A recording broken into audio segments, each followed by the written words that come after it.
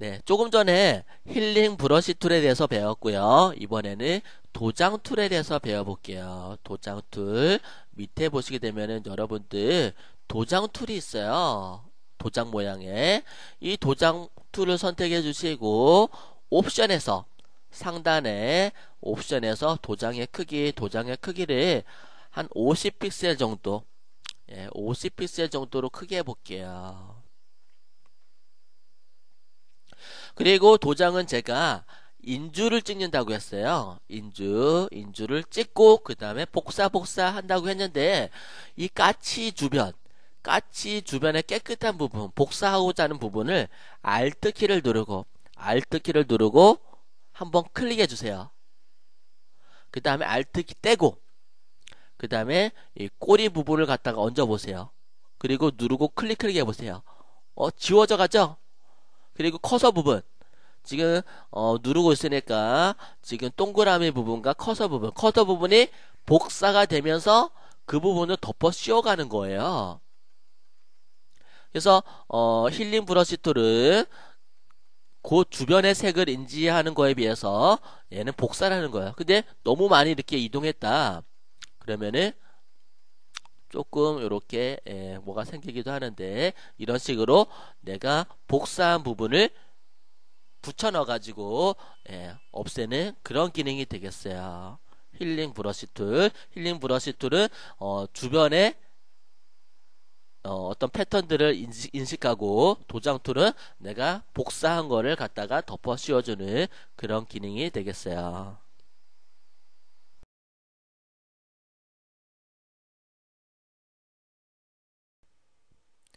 네, 안녕하세요. 안정우 강사입니다. 네, 제가 올려드린 강의 잘 보셨나요? 예, 조금 짧죠? 그래서 제가 더 많은 네, 강의 카페를 소개를 시켜 드릴게요.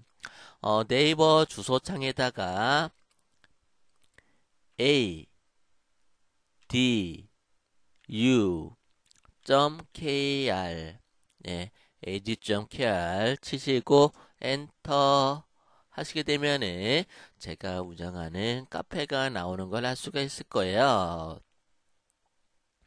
네, 현재는 어, 주로 이제 온라인 강의 위주로 하고 있고요. 지금 보시면은 카페24, 카페24에서 성신여대점 그리고 강남점 지점에서 강의를 하고 있고요.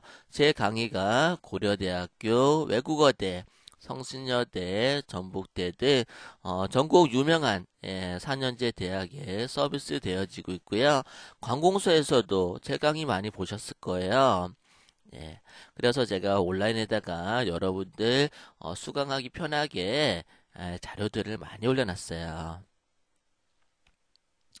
네, 보시면은 뭐 여러 가지 자료들이 있고 예, 포토샵 동영상 강의 해가지고 뭐 toolbox 강의, 기초 강의, 쇼핑몰 상세 페이지, 특수효과, 합성 그리고 지식인에서 물어봤던 그런 강의들 플래시, 드림위버, 포토샵 문자 디자인 그 다음에 이제 제가 기업들 간접적으로 홍보 영상도 만들어 드리고 있어요.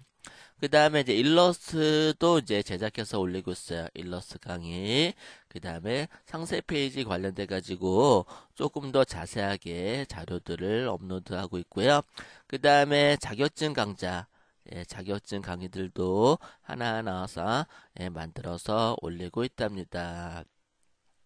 그리고요, 무료 이미지. 예, 이미지들도 무료로 업로드 해 드리고 있어요. 보시면은.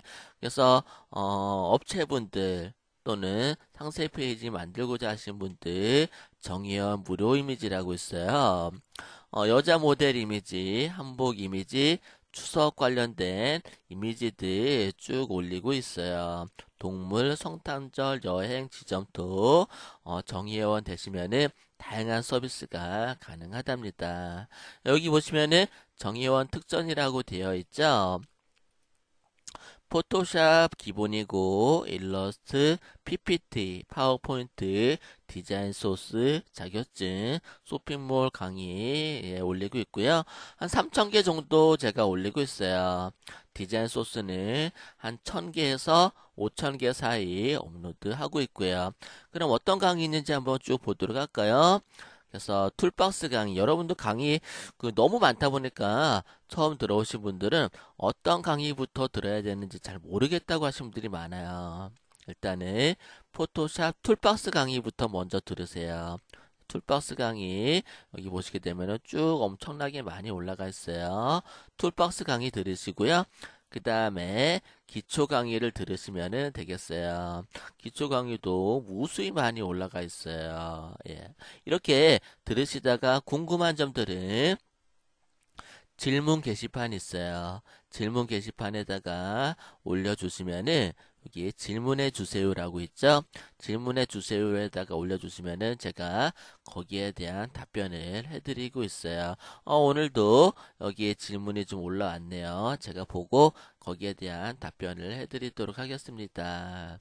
그리고 더 자세한 거는 여기 검색창에다가 예, 여러분들이 필요한 거를 어, 검색을 해서 한번 찾아보세요. 다양한 강좌들을 찾을 수가 있을 거예요. 네, 그러면 앞으로 카페에서 보도록 하겠습니다. 수고하세요.